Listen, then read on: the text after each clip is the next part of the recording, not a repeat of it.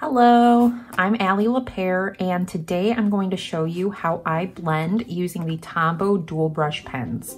For this tutorial, you're going to need the N89, it's a really light gray color dual brush pen, as well as a variety of dual brush pen colors. Uh, the best, easiest way to get colors that will go together as far as blending, um, the best way to do that is just pick out a palette to work with. Um, all of the Tombow 10 packs, they're designed to kind of go together, all the colors. You're also going to need really smooth paper in order to get the best blends. Uh, my favorite paper, it's the Canson XL marker paper. Um, this paper is pretty, pretty lightweight. It's kind of the best bang for your buck as far as um, smooth marker paper goes. There's a hundred sheets in here. Um, this I use more for kind of practicing and pieces that I make just for fun. The other paper that I like is the Strathmore Bristol. Um, it's the smooth surface Bristol and this one is, you know, it's it's more expensive, you know, per sheet. There's only 20 sheets in here, but it's a thicker paper. It's 100 pound instead of 18 pound. So yeah, quite a bit thicker. I use this paper mainly for um, projects that I'm either making as like a commission type deal or projects that I give away as gifts. All right, to start, I'm going to do just a really simple little leaf doodle. Something anybody can draw.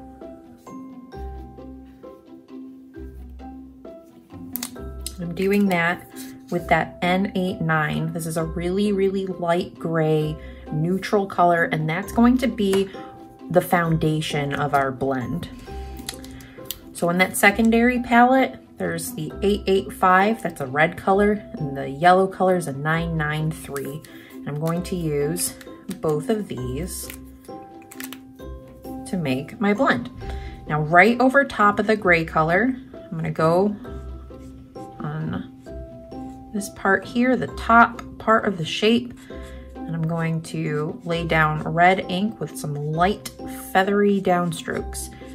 I'm just gonna color in lightly, not quite getting about halfway through.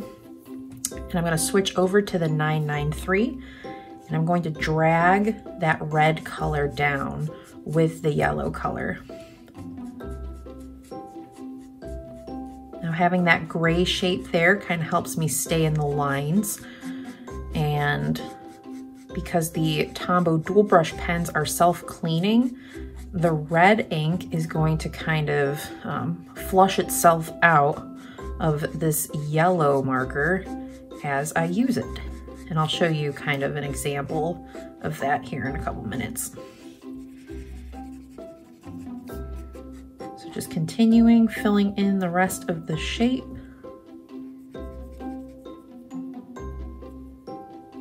And again, this is the Canson XL marker paper. Very, very smooth.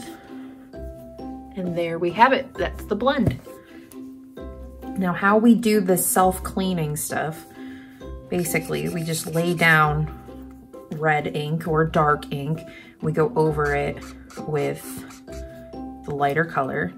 And you see that first stroke has lots of red ink in it, but as I use the yellow marker, the red ink kind of just cleans itself out of there. Now the shapes that you make can be as simple or as complex as you'd like. I'm going to show you just a couple of the shapes that I used for my um, finished project that I'm going to show you here at the end. Um, I use just a couple lines, really basic leaf shapes coming out of them. Do kind of just your basic little flower shape,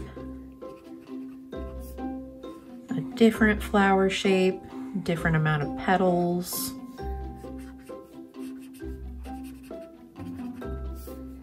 Um, that leaf shape obviously and then kind of a different shape leaf here. And I always like to use little, you know, circles just to kind of fill in some of the negative space.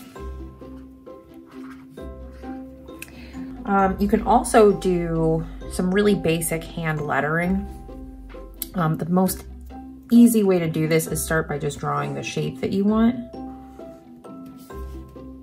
So this is kind of like the foundation of the letter. Really, really easy. And then all you have to do is add some weight to it. Like so.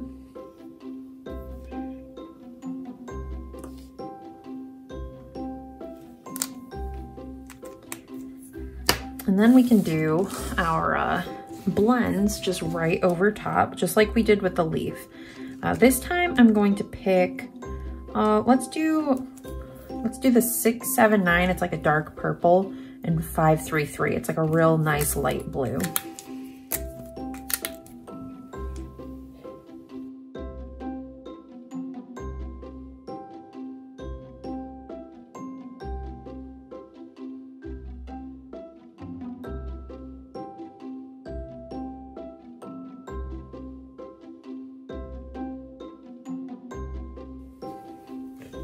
That's that.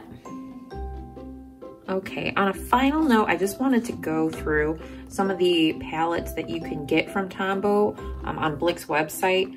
Grayscale, just all the different gray tones. Portrait, it's all kind of skin tones in there. Pastel, bright, that's one of my favorites. These are great for blending if you're into those bright colors. Primary, Galaxy. Um, some of the ones I had examples for landscape here, kind of greens and blues and some, you know, grays, I think a couple browns in there. Uh, muted and secondary, obviously that was the one that we were using in the demonstration today. So the sky's kind of the limit when it comes to color choices. I mean, you can even buy individual colors. I think there are 108 of them. Um, but really, you don't need much. Basically just need, well, I think you need N89. This one's maybe my favorite brush pen of all. Um, just to get, you know, something down on the page that you can blend on top of. And just picking one palette, you're gonna be able to get a lot of really beautiful results. So whether you're making finished pieces like this one or, you know, larger ones like this one, and whether you're doing it with one palette or, you know, different palettes, you are able to make some really lovely things just with this simple technique. It really, really all starts with what we did here. Thank you all for checking out this tutorial today. Make sure to look at the Blick website for Tombow's full line of dual brush pens, and I'll see you next time. Bye!